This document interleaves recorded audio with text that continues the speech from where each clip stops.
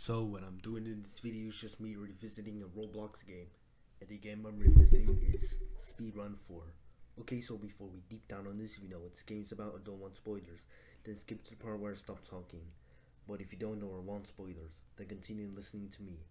So basically, Speedrun 4 is a game created by Vurse, created back on July 20th, 2014. This game is a fast-paced game with 30 levels and 7 different dimensions to complete, each in different themes and songs.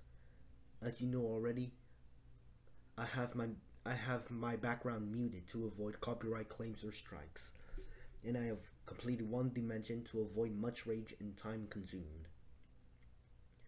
You can buy stuff such as trails, dances, sound effects, stars, gems, and many more.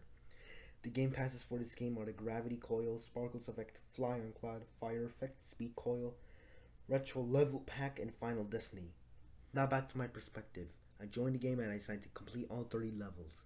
The easiest level was the first level and level 29.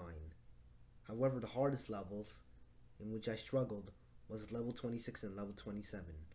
Instead of showing you me wasting my time trying to complete the hardest levels, I cut some clips out and sped it up to about 40 times to make the video shorter.